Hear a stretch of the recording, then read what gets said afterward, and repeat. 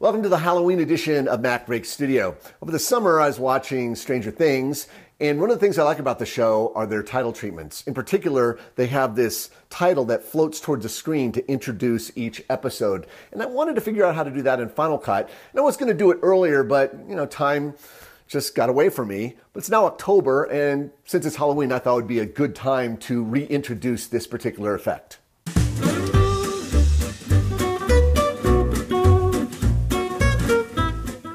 So to begin, let's jump over to Motion. I already have it open, so from the File menu, I'll choose New from Project Browser. And I need to choose a project type.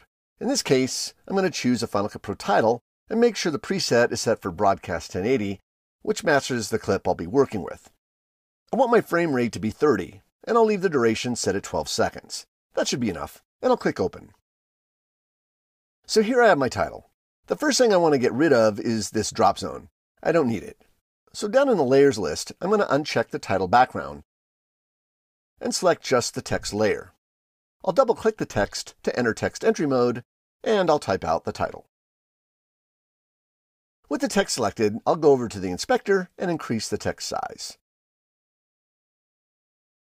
Next, I'll choose a font.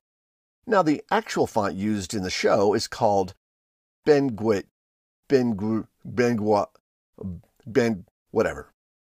Press Escape to exit the text entry mode, and I'll move this text to the center of the screen using the alignment guides. Great. Now I need to publish some parameters. I can certainly animate this text up or down in Final Cut Pro, but I need the ability to animate the text in Z-space so that the text looks like it's flying past the camera. So to do that, I'll select the text layer. And in the text properties of the inspector, I'm going to publish all the position properties. And what that does is make the X, Y, and Z position coordinates available within Final Cut Pro for keyframing. To verify that you've published the correct parameters, select the project icon at the top of the layers list. Then select Project. And as you can see, all three position coordinates appear under Publish Parameters. So really that's about it, and we're done with motion. Now we just need to save this title so that it appears in Final Cut Pro 10. I'll go to the File menu and choose Save. And I'll choose a category first. I'm going to put this into the 3D category so that it shows up with all my other 3D titles. I'll name this Stranger Things Fly Through and click Publish. Next, I'll jump over to Final Cut Pro 10 and create a new project by pressing Command N. I'll name the project Fly Through and press Return. Now I have an empty timeline. So the first thing we need to do is add some background generators. To do that, I'll jump up to the Generators and Title sidebar. And under Generators, I'll go down to the Solids category, and I'll select this Vivid Solid and press E to add it to the timeline. Then I'll select a white generator and press E to edit that one into the timeline as well. Finally, I'll go back to the project browser, select my video clip, and press E to append it to the end. Now I have my three necessary clips, and I'll press Shift-Z to fit them to the window. Currently, these two generators are too long.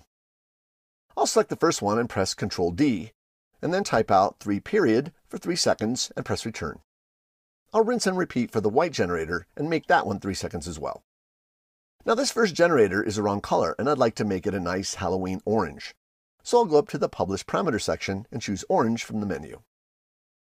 I'll leave the white generator at its default color. So next I want to add my published text, so I'm going to jump back to the Titles and Generators sidebar,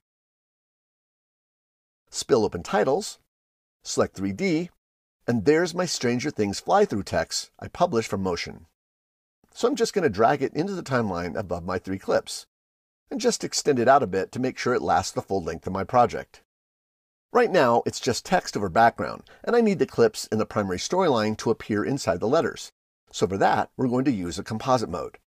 With the text layer selected, I'll go into the Video Inspector, and in the Compositing section, under Blend Mode, I'm going to choose Stencil Alpha. Now the clips are punching through the letters over a black background. And you can see this as I skim the timeline. So the next thing I want to do is animate the text.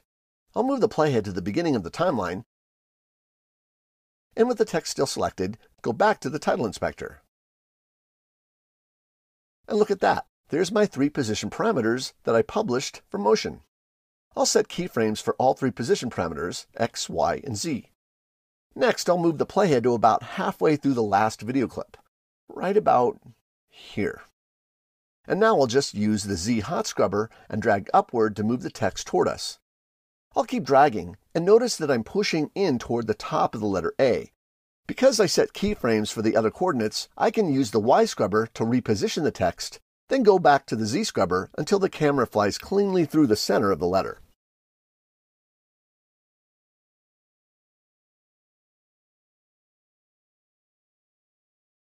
I'll play that back.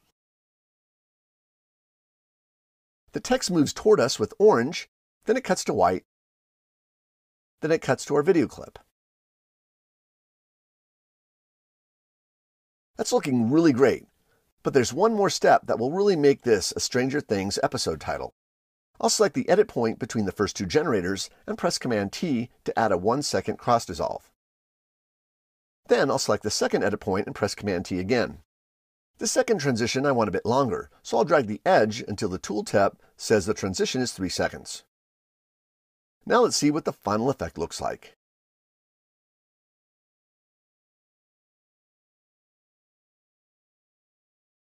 Pretty dang cool. So now you know how to create the Stranger Things text fly-through effect.